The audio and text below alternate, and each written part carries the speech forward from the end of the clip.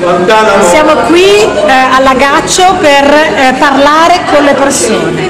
Abbiamo già avuto in poche ore più di un migliaio di consensi, consensi a parlare col sindaco. Lunedì 9 febbraio qua dove lei vuole costruire la moschea per ascoltare la gente, che cosa vuole veramente. Qui le persone si lamentano, dicono che il sindaco in campagna elettorale ha promesso addirittura la piscina. Gli arancioni hanno ripreso i loro colori che avevano un attimo messo da parte, siamo sempre nel PDL ma col colore arancione perché la differenza è parlare con le persone, è questo che noi desideriamo.